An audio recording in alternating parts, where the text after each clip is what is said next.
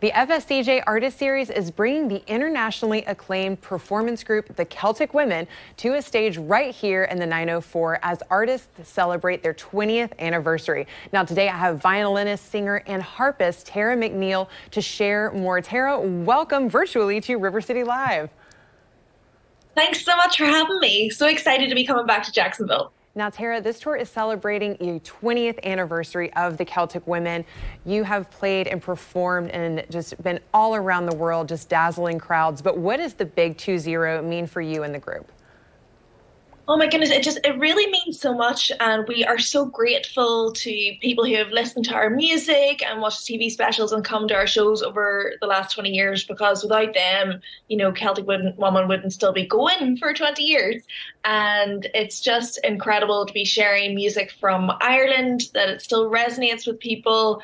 I suppose there's just so many Irish in America and people that just um love the Irish music in Ireland. So we're just so happy to be bringing it um, back to America.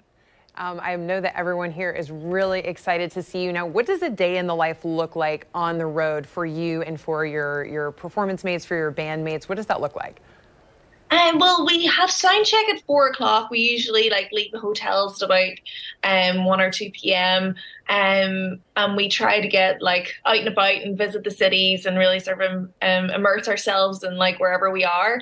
And then there's um, yeah the sign check, and then after the show, we generally get on our tour bus and we will drive to the next city. We probably get in around four five a.m. and we sort of do the whole process again every day. So that's a that's a tough life on the road. But do you love still getting a, to be able to go on stage to perform and the Celtic Woman performed by the Celtic Women? I guess they're very interchangeable. But you know, how does it feel getting up on stage with this performance group every day?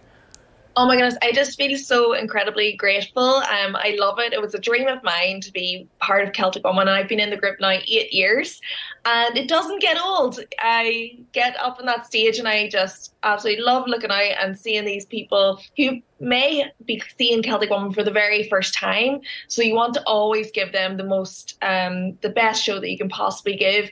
I love sharing the stage with these incredibly talented women. We have an amazing band. We have bagpipers, uilleann pipes. We have dancers. You know, there's so much energy. So I feel like every show um, is new and exciting. So it never gets old.